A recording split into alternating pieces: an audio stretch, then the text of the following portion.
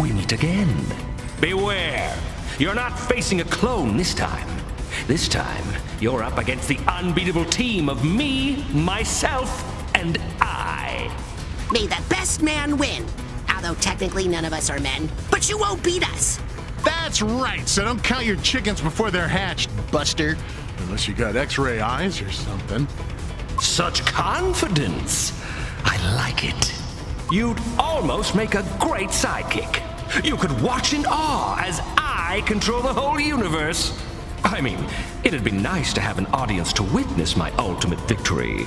But leaving you in control of your own mind could be problematic in the long run. So I'm afraid I'll have to deal with you immediately.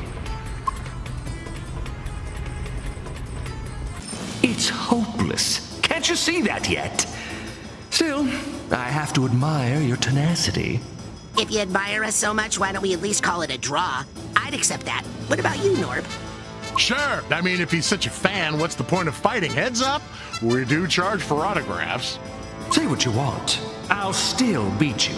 But I'll be admiring you as I do. No! No! No! No! I warned you that you were messing with the wrong beavers. Now stop whatever silly evil plan you had and let us out of here! Dag's right. As the loser, you have to leave the poor universe alone and send all of us back to where we came from. I've worked far too hard for it to end like this. Computer, initiate the overhaul protocol. Control every mind across the entire universe. Initiating startup sequence. Warning. Ecto charge below safe levels. Activating the overhaul protocol will lead to core instability. Executive override! Proceed overhaul protocol! Proceeding. Error. Core module levels critically damaged. Wait, what? How can this. No! This can't happen! Not again! If it weren't for you this time, I was supposed to have fixed it! Just when I thought it was over in the good way, it's over in the bad way. Um, save us? Uh, yeah, uh, time ghosts. We could use a hand here, and not the kind on your face. There you have it.